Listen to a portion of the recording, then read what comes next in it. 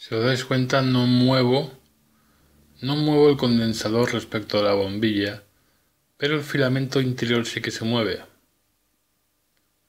Y ese filamento interior que se mueve es el que induce la carga.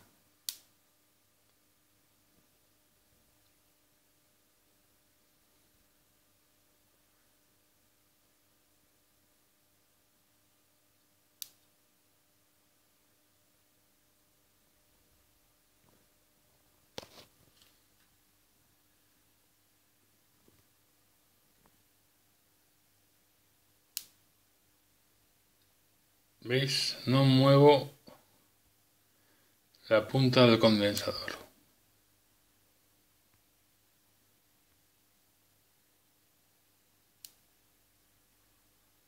Lo que se mueve es el filamento interior.